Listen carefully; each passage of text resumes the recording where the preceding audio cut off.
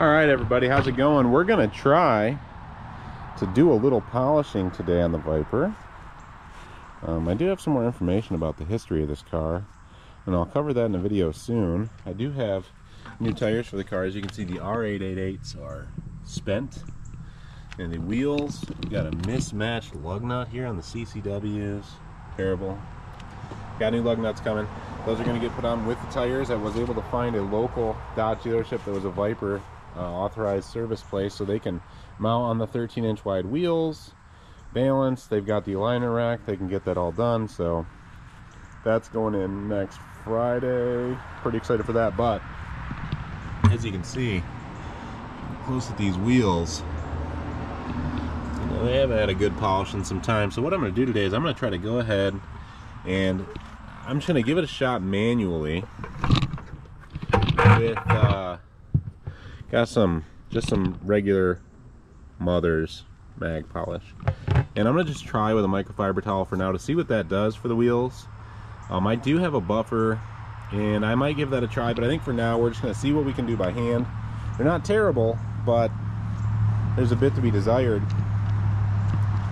Uh, the other stuff I obviously want to get done on the car will probably be last after everything mechanical we've got a scrape here some damage down low scrape on the fog light cover basically this whole front bumper cover this will be the last thing I do. That's gonna need repainted man.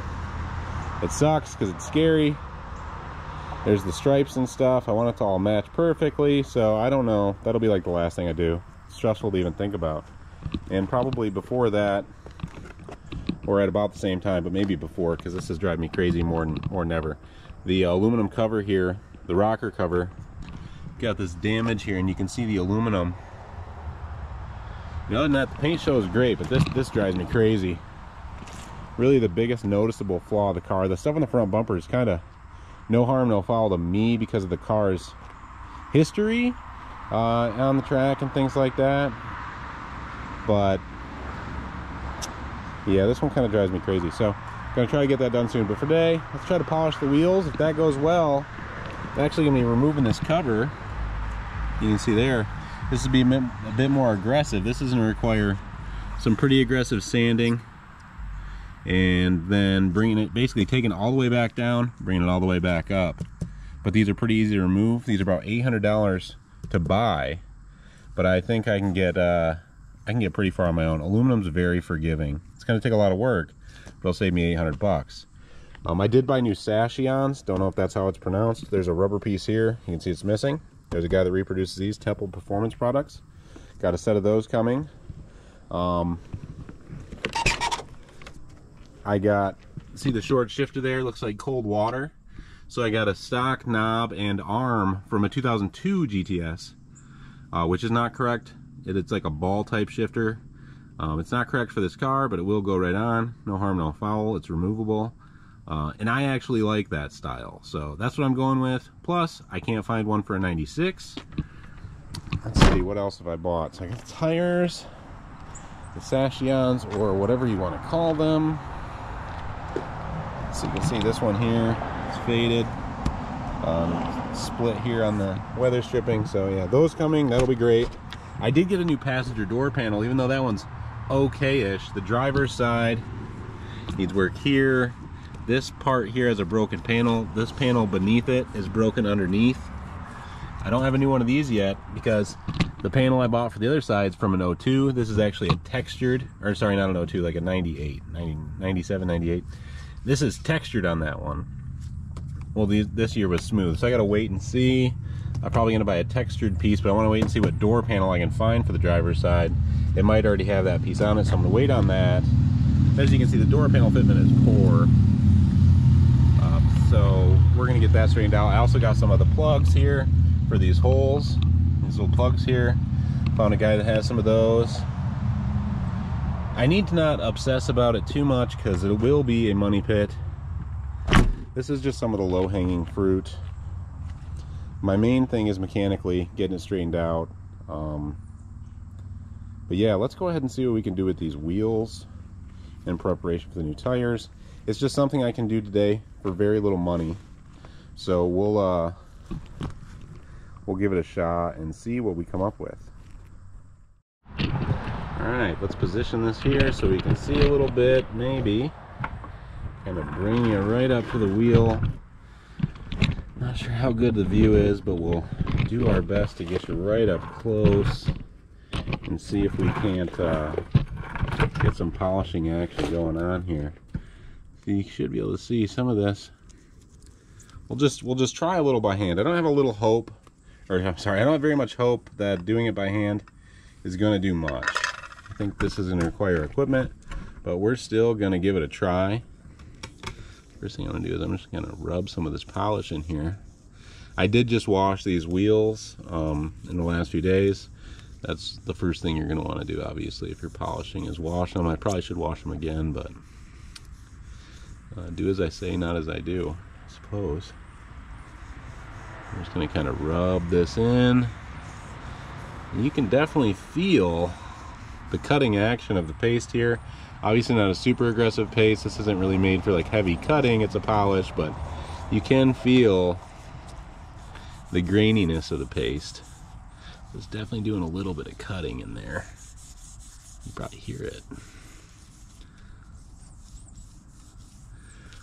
A lot of this is really like, it looks like the result of water spotting um, and just general neglect. The previous owner, admittedly, you know, one of the things I found out about this car, and I knew when I found it, and for the last, since 2017 or so, um, I can't say winter for sure, but it's been stored pretty much under a tarp. Yeah, I know. I know. But I'm pretty sure that's where it spent most of its time. That's where it was when I found it. And I saw pictures of it on Google Maps under a tarp. So I'm to guess that was pretty much its home. Luckily, it doesn't appear anywhere I've inspected that any rodents or anything ever got in the car. But crazy to think a car like this sitting under a tarp you know, in 30 or 40 years, we might joke about that as if we were talking about a Ferrari 250 or something. Just sitting in some guy's driveway under a tarp. Okay, we've rubbed a little in there. Worked it in pretty good. Take my microfiber, just kind of wipe here. See if we're getting any kind of luster. See if we've got any improvement over what we had. So I can definitely still see evidence of the uh, the water spotting look, but it is a higher luster. I think you can kind of see the shine there. Definitely opposed to like this area here. You can definitely see this came around a little bit. Still some spotting in it though. I think this is going to take mechanical uh,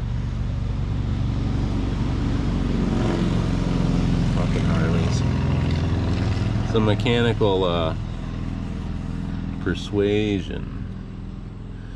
Try just a little bit more with the microfiber right off the bat to see if working that in really makes a difference. What we'll do here is we'll just rub this in a little bit, flip it, wipe it out.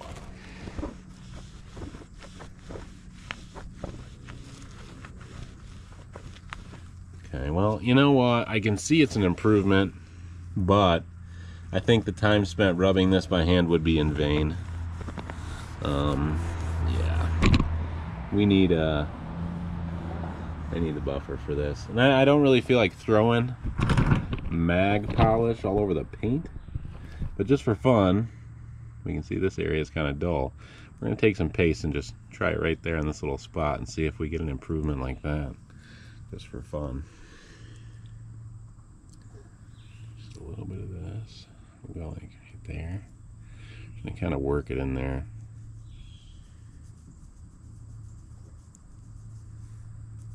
Working it in, just putting a lot of pressure into it. Yeah, that water spotting in there. You know, aluminum is sensitive to that kind of thing, you know, oxidization. So water on the surface aluminum, I mean, it will, it'll stain it. ARP bolts all the way around on these CCWs. I know you might not be able to read it there, but it's got the ARP logo. It's pretty impressive. I've been so cheap in my life, I didn't necessarily use ARP hardware on my engines, let alone on my wheels. Alright. Let's wipe some of this off and see. You know, maybe a little, not a lot. This is I'm gonna need some something just a little more aggressive. I would have to. Okay, well I do see it there a little. I guess you can see um, from some of these angles. You can certainly see the improvement. Uh, that's a lot of elbow grease. I mean, I really, really leaned on it there in a very small area. But oh yeah, it's coming up. So let me let me do a little more work on this, and then we'll see if we can uh, we can see. Maybe I'll go get one of those mother power balls or something like that, and really make it pop. But all right, let me. Uh, there's what we're working with right now. Let me do a little work by hand, and we'll come back and check it out.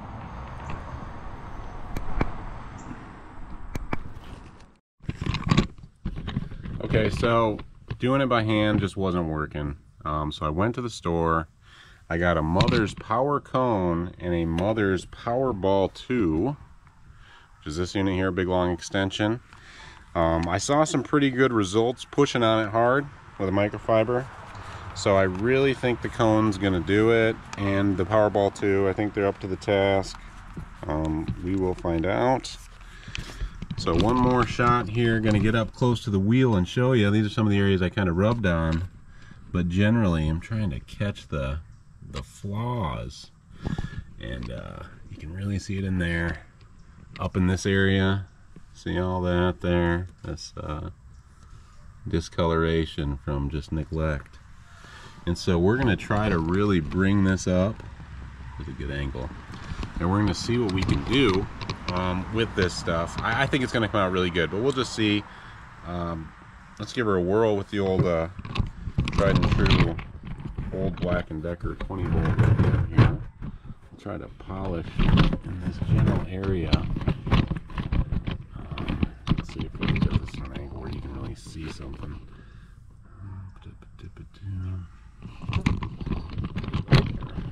There. Fine. Let's give it a whirl. I'm going to take a little bit of this cream. To take, I'm going to rub a little bit on the cone at a low speed. Just get a little on there.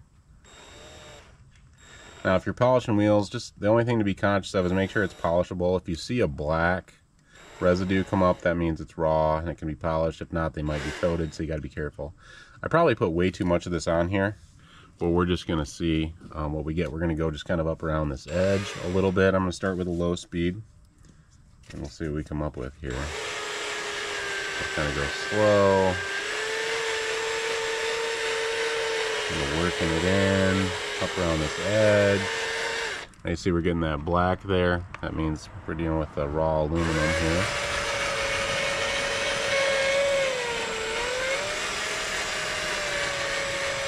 What I'll be really curious about is how well this foam keeps its shape through use, because that's the real test as far as a product, um, how well it holds up. I'm to kick it right up into high speed here, I think. There's no reason not to.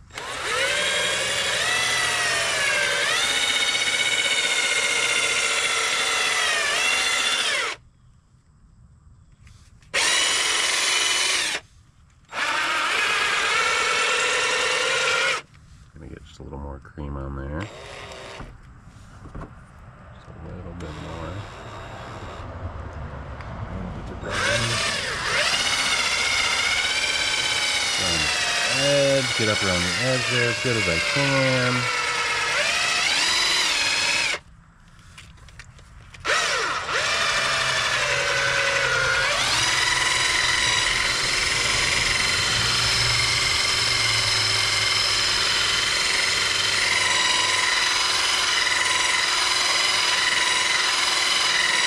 Seeing a nice black, kind of a pasty look here. And honestly, I think we're seeing some really nice results. I'm going to just run up and down this a few times, and then I'm going to grab the microfiber, wipe out, see what we got.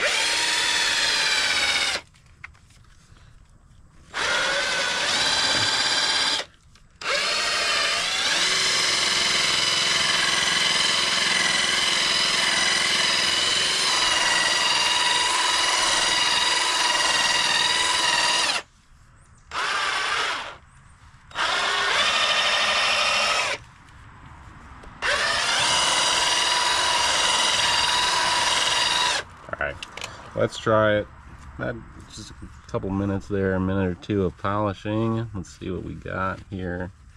If we're getting anywhere. I don't know if you can see that. But uh, we're seeing some results here. Now I can still see some residual marks in the wheel, like a water spot type of mark. But I think, oh yeah, good lord. Sure how well you can see that, so Oh, that's great. Um, let me just see here really quick. If you look here, right, level of luster coming around to where we polished. I mean, hey. So you're coming around here, and then you're getting into where we polished, and that's night and day. That's absolutely amazing. So you can still see some of this, see that in the reflection there So see some of the marks in there. So we're going to work on that. I'm going to go ahead and I'm going to try to work this whole wheel. And then we're going to come back and we're going to take a look. I'll tell you how long it took and we'll see what kind of results we get. And I might try the ball as well. okay, so here is here's where I'm at. So this is not done. This is what I would call roughed in pretty good. As you can see, you know, it's it's a lot better than it was. But if you look, you can still see all the cloudiness. It's a lot of work getting in these areas. And so the uh, the ball here, or the cone, this has come in handy a lot. The ball, for this particular wheel, not as much. Um, the biggest thing on this wheel seemed to be the amount of pressure you can apply. I mean, you really got to get after it with the pressure. And to the point where, I mean, I can do a lot of this. I can do all of this by hand. It's just a matter of how long would it take, right? So in these areas, there's still work that needs to be done. You can actually see the CNC machining marks if you look, which is kind of cool. Um, it'd take a lot of work to get in here, so it's really good at roughing these areas out, but even still, I find myself coming back by hand. So, you know, there's probably some tools to this that I don't have. Now, on the camera, I can tell you this looks pretty good. It looks a heck of a lot better than the other side. It's still going to take some work by hand to get it all the way there. I said in these areas, take a look and I'll take one of the heavily, uh, we'll say, like really covered areas of compound here. You see this haziness here, right? What's this? You really get after it. really put pressure on it. You can you can kind of bring that cloudiness out it takes a lot and that's pretty much the deal. So as far as how much time I've invested in this with the drill doing stuff by hand and then just trying to wipe it off kind of half-assed before showing you guys what I got I'd say probably 45 minutes in this wheel. Um, and that and that's me being right here like no brakes really going at it. But again it's a good uh two three four five footer you get close and you can just still see all those little imperfections. And again like even that one there for example that's a good good example. So you see that cloudiness there? If I take this and work it really hard. I mean I'm really leaning on it here. You can you can really reduce that stuff you know? Sorry there we go. See it's really clear right there. Um, you know, I might just end up grabbing the buffer, but the thing is like an eight inch wheel, I think. So it's it's good for large flat areas, but all it's gonna do is gonna just cake these with uh, with compound. So honestly, the reality is a lot of this is gonna be done by hand. But the cone, if anyone's looking, man, yeah, no, it earned its way. Just roughing these out, it was really great for that. And uh, some of these other areas, one thing really the right way to do this for anybody watching is take your wheels off. Because I've got goop caked in my lug nut um, recesses. Now I am getting new wheels put on or sorry new tires put on next week. So I'm just gonna nicely ask the gentleman doing it to wipe the goop out of there. But otherwise I would have to get it out. It'd be a pain. Um, I mean you could probably blast it out of there with some pressure but um, yeah, there's quite a bit in there actually. I might take the hose to it and then dry the wheel back off. Um, but yeah, so that's kind of the result. This is what you can expect on a wheel that was like mine with average skill level, about 45 minutes or an hour invest. Okay, so that wasn't quite the end of the video. Plot twist. I had a buffer. I didn't really think this was the application. This wheel I already did. This one I did with the buffer. Now, I didn't put quite as much effort into it as I could, but it still looks extremely nice compared to what it was. And I probably did the other three wheels in the time it took to do the first one. The back wheels were a little trickier because of the deep lip, but I can tell you the fronts look the same. And this one took probably 12 minutes. Oops, looks like I got a bit of crap left on there. Need to come back and wipe them off again. Probably took 12 minutes to, you know, 45 minutes to an hour for the first one. So best process, in my opinion, is uh, get out a buffer.